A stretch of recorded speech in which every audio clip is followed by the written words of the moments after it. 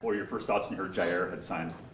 Oh, uh, I think it's, it's a great deal for the organization. You know, um, you got a young man who did a great job for us a couple of years ago, and then you know got injured last year. I mean, it, uh, you know, I think it shows us that the organization cares about what he's done, and they expect for him to do the same thing he did a couple of years ago.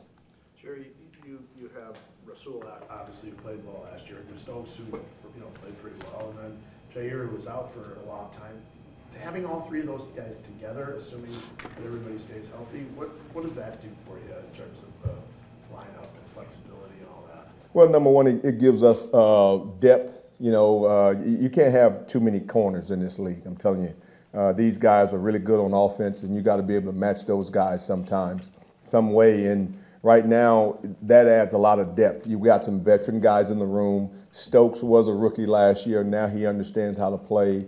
He got about maybe 800 snaps under his belt, which most rookies don't get on good teams. So I, I think that's going to help Stokes, uh, you know, take a, take another step up. And so, you know, when you have guys like that, and then you add in uh, Nixon, you add in a couple other veteran guys, that that not only brings veterans to the room, it brings competition to the room.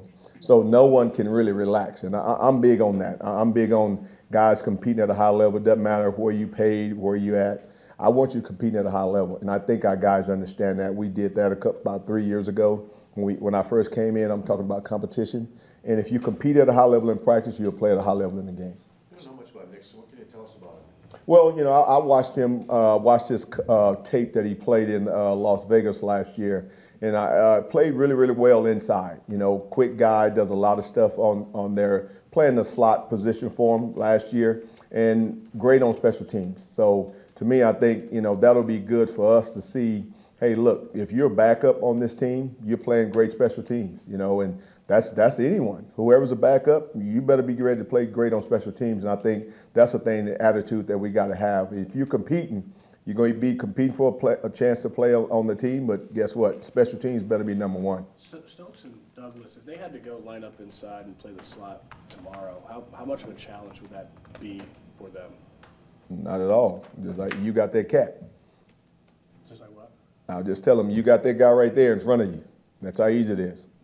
So they, they, have got because you know it's a different position than the perimeter, right? So they've got the, the natural skill set to, to be able to line up inside. Yeah, to me, I think all our guys do. I think you know from Stokes to Jaire to I mean, Jai played a little bit last year. Uh, he played the year the year before.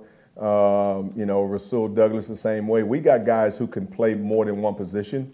And I think that's only going to help you because if you got a guy that only can play one position and all of a sudden you lose that position inside or you lose a position outside, but coach, I can't play outside. Well, that's bad for us because now you lose one of your good players and you can't put another good player in the position. So you got two good players and one can't play the, the corner per se. So to me, I cross train guys all the time. You know, we're just putting guys here, there again, that, that'll start showing up next week. But in the classroom, the last four weeks, we've just been talking about, hey, who's going to be here, who's going to be there, and guys learn more than one position. That's kind of what we're doing right now. So, so do you anticipate that both those guys will, will get plenty of rotation inside and won't just be Jaire? Because, I mean, on paper, he seems to be the guy that. No, no, I, I wouldn't be worrying about the paper. Trust me. I think it'll be Jaire. I think it'll be Stokes. I think it'll be Rasul. It could be Savage we got a lot of guys. I mean, again, we got a lot of good guys that can play in the slot. That's that's the best part that we have here. We don't have just one guy. Our guys are, hey, coach, I want to go play in there. You know why I come? There's a lot of action at the nickel, and everybody wants to be in the action. They want to compete. So I want guys that want to compete and want to go play minute now since Rasul re-signed, but what did that mean to be able to keep him? What was your reaction to that? And then also being able to have him for a full offseason now as opposed to kind of hitting the ground running like he did last year. What do you think that does for him in the long run? Well, number one, I think it helps us again with um, depth on our team. We, we have a good football player that, that we don't have to wait on to come, like you said, in the middle of the season and then to get him to see to see him during the off season. Now we get a chance to see what he did working wise when he wasn't here. And and to me, I'm big on if guys don't show up, you know what? I got trust in you because somewhere along the line you did something. It just wasn't luck last year. It doesn't happen to be luck. You can't get that lucky every time. So you have to put work in before you get here. So when the curtain opens up, you're ready to go play. A lot of times they don't know what Rasul Douglas did. I don't know what Rasul Douglas did, but I tell you what, he must have worked his tail off because when he got here, he wasn't out of shape. He's ready to go play, and he made the plays he needed to make. Hey Jerry, what about on the, what about on the flip side of that though? Like, obviously he had bounced around quite a bit and, and I think you were his sixth team in two years. Mhm. What, how does that happen to a guy that then is as good as he was for you? And how do you make sure that it's not just catching lightning in a bottle and he's able to sustain what he did for you last year? Well, to me, uh, I, I- think the good thing that happened, I got a chance, we got a chance, it was bad for us that we coached the Pro Bowl, nothing against it, but that means we wasn't playing the next week. But uh, I got a chance to talk with Darius Slay, and he was over there with him. So he kind of gave me some insight on why he wasn't there, and you guys won't get that. But, you know, it, it, it, it helped me understand why he did such a good job over here. And my job is to put you in a position where you can make your plays. I, I, I hey, look, I'm not a cookie cutter coach, so whatever you're good at, I'm gonna let you be good at, and that's kind of what he did over here. Jerry, I know you guys didn't have a ton of the DB room, you know, on, on draft weekend, but from now to before the draft, I mean, how differently do you feel about this defense as a whole in the direction you guys are headed? Well, I mean, to me, I think if you look at us, I think like right at right before the draft, you've seen guys leave. There's guys that they're good football players. You know, the thing about the NFL, there's free agency. If you can't sign all the good players, trust me, you can't. I wish we could keep all our players, but we can't. And then I thought Gutey and them did a great job with the draft of bringing those guys over. You know, we got a host of young guys. I, I think young defensive tackles going to be pretty good. You know, you look at uh, the linebackers, I think it's going to be pretty good. So I'm talking about the guys that got drafted in the first round. Then we put some more big guys up on the D line. You look at we got a couple of guys in the secondary, and now we fill our holes in, and that's a hey coaches, here's some young guys. See what you can do with them, but it's time to go play. And then once we go through our practice, we start going through the OTAs and we find out who these guys are. That's only going to make us better because now we still got most of our starters back. But we need those backup guys to say, hey, look, you got to be pushing these guys to heels, and that's how we that's how we're going to become good.